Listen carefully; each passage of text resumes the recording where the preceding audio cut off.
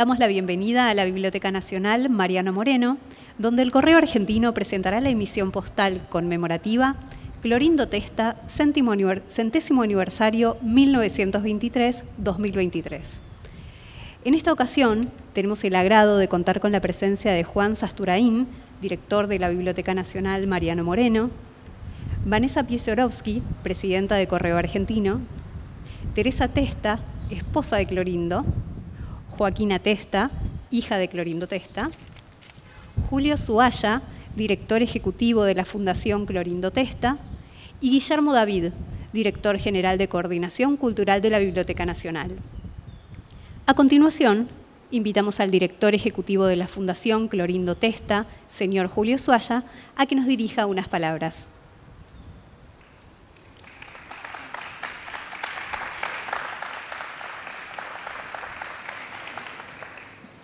Buenas tardes a todos y todas.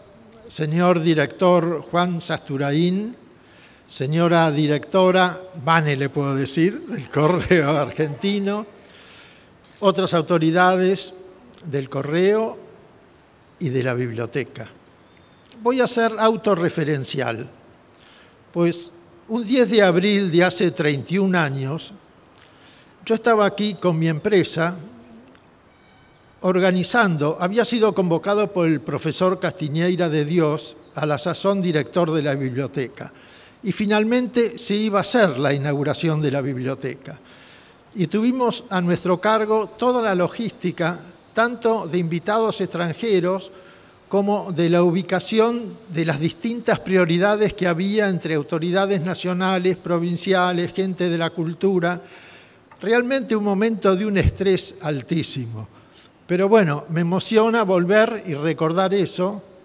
También no solo la emoción de estar en algo que construyó Clorindo, imaginó Clorindo, sino también porque con la biblioteca hoy tenemos una relación con la fundación que es una casi una relación de complicidad, porque gracias a ellos estamos digitalizando los planos que realizara el estudio Testa de esta biblioteca y ya tenemos digitalizados alrededor de 60 planos, estamos haciendo entregas semanales y con una gran prolijidad y eficiencia esto va avanzando.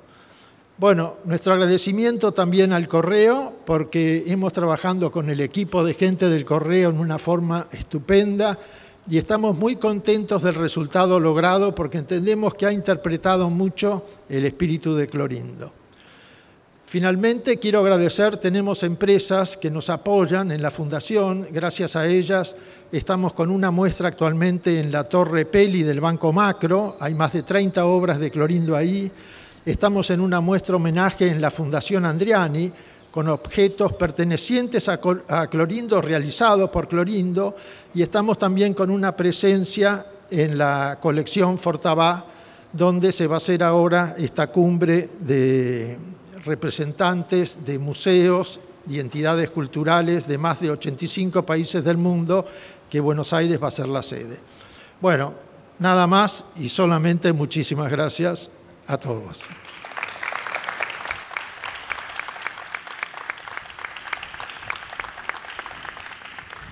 Agradecemos las palabras del señor Julio Suaya y a continuación escucharemos a la señora Joaquina Testa, hija del homenajeado.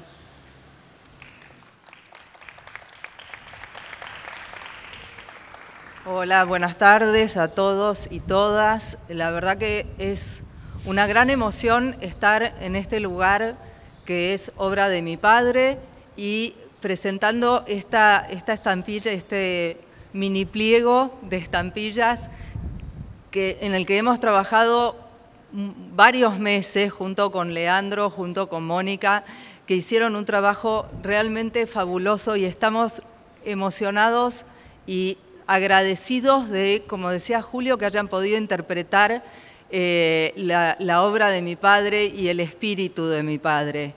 Eh, él, por supuesto, siempre hablaba de la biblioteca como una de sus obras más queridas y más importantes y, realmente hacer este, este, homenaje acá mm, es, eh, me deja sin palabras. Les agradezco a todos por venir, les agradezco, al director de la biblioteca, al eh, director de culturales de la biblioteca y a, Vanessa también del Correo Argentino, a todos, porque es una combinación perfecta estar acá para esta ocasión. Así que muchísimas gracias.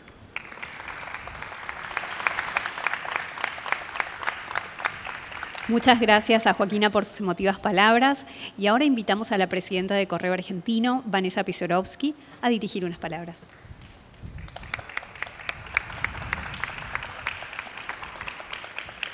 Bueno, muy buenas tardes a todos y todas. Eh, el año pasado, o el anteaño, fue que estuvimos el anteaño, estuvimos con, Juan, que trabajamos muchísimo con la Biblioteca Nacional, eh, hablando de qué manera podíamos federalizar también la Biblioteca Nacional junto con la infraestructura del correo y estaba lo de Clorindo Testa, no solo los 100 años, sino también los 10 años.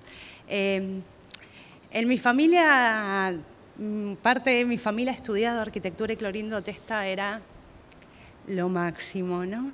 Entonces, tener este paraguas en este momento para, rendir este homenaje a, Clorindo que tanto nos dio, que tanto incorporó en nuestra cultura, más allá de la construcción, más allá de la arquitectura, es parte del arte y de la cultura de nuestra nación, no solo reconocido en nuestro pueblo, sino también reconocido en el mundo. Cuando tuvimos que acercarnos a la, fundación, no alcanzaba un sello postal. Ahí están nuestros grandes filatelistas de, eh, Argentina. Sé que Juan también se va a sumar a ustedes. Eh, no alcanzaba un sello postal. Eh, era demasiado era cómo, cómo representábamos toda su historia, toda su contribución. Por eso decidimos hacer un mini pliego, que es el que, el que pueden ver ahí y también ahora eh, se van a llevar. Para el Correo Argentino, la máximo, el máximo reconocimiento es a través de nuestra filatelia, porque la filatelia, como las obras de Clorindo, trascienden nuestras vidas eh, se forman parte de la historia, la cultura y la contribución de una nación. De esta manera contamos nuestra historia y sobre todo de esta manera, a través de la filatelia, a través de las cartas, a través de los mensajes, dejamos para la posteridad todos nuestros sentimientos, nuestros miedos y también lo vemos en este tipo de obras. Realmente quiero agradecerles, es un enorme placer agradecer también a la Biblioteca Nacional de que podamos hacer este homenaje aquí, porque también ahí adentro, como las obras de Clorindo Testa, está nuestra cultura, está nuestro patrimonio y está sobre todo todas las inquietudes y la audacia que vamos a generar y tener en los que vienen, en las generaciones futuras. Así que espero que les guste este mini pliego, espero que viaje por todo el mundo, así es reconocido e, e, integre grandes colecciones de filatelia de todo, todo el mundo, que ahí la, la filatelia argentina de eso se encarga y se encarga muy bien. Muchísimas gracias. Agradecemos las palabras de la presidenta de Correo Argentino y siguiendo con este acto, procederemos ahora a matasellar la estampilla en el día de su presentación oficial. Eh, Vanessa Piesirovsky comenzará con el acto de matasellado de la emisión postal e invitamos también a participar a Teresa Testa, a Joaquina Testa, a Julio Suaya, a Juan Sasturain y a Guillermo David. Les contamos que este, este acto consiste en aplicar un matasellos en la estampilla, abarcando también parte del sobre del día de la emisión. De este modo, queda armada una pieza de gran valor filatélico. Para el coleccionista, además, adquiere un valor único, dado que el matasellos del día de la presentación oficial se aplica exclusivamente para esta ocasión.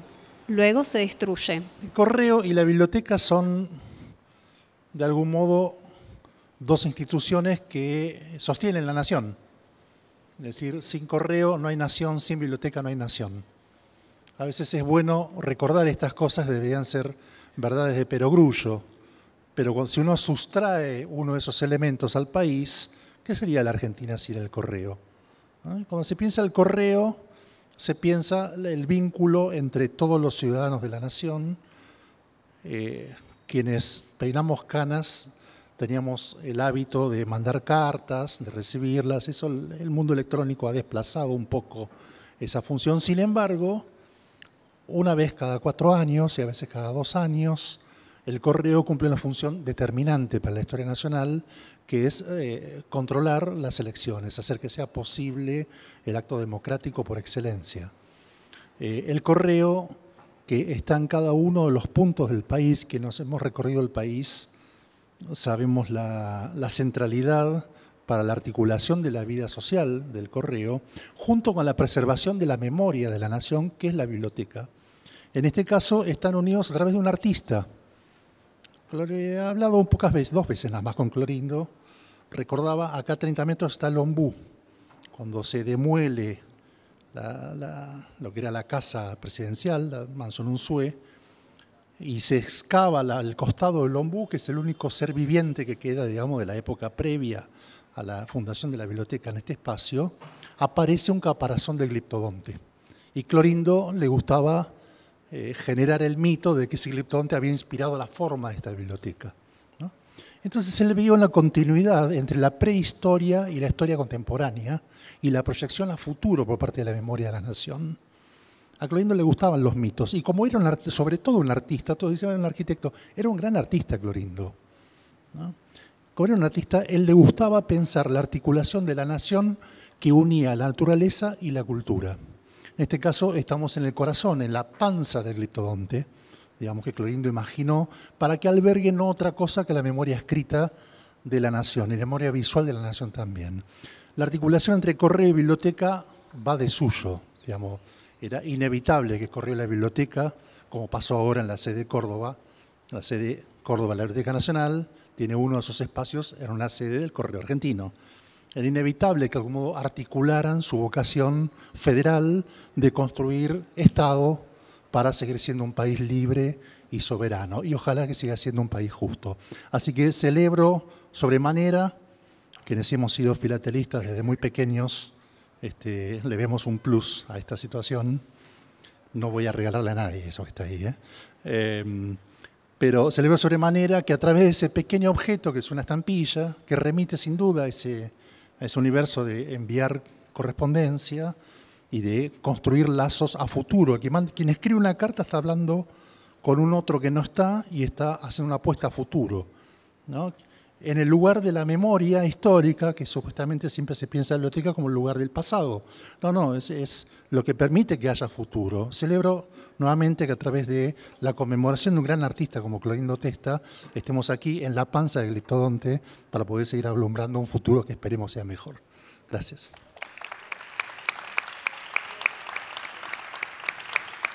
Muchas gracias al señor director por sus palabras y ahora sí les agradecemos la presencia a todos ustedes a este homenaje que el Correo Argentino ha querido realizar a Clorindo Testa.